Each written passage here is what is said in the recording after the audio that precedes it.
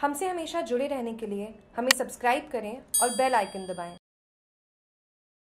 बस चालक की झपकी ने ली महिला यात्री की जान। दिल्ली से जोधपुर आ रही एक निजी बस शनिवार सुबह पाली जोधपुर ज़िले की सीमा के निकट पलट गई।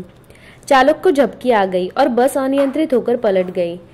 इस हादसे में एक महिला की मौत हो गई, जबकि 12 यात्री घायल हो गए। गंभीर रूप से घायल तीन जनों को जोधपुर लाया गया है।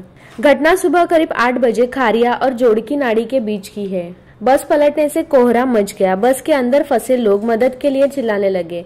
आसपास के लोगों ने मौके पर पहुंचकर फंसे लोगों को बाहर निकालने का काम शुरू किया। थोड़ी देर में पुलिस भी मौके पर पहुँच गई। बारह घायलों को बिलाडा सी ट्रॉमा सेंटर भेजा गया।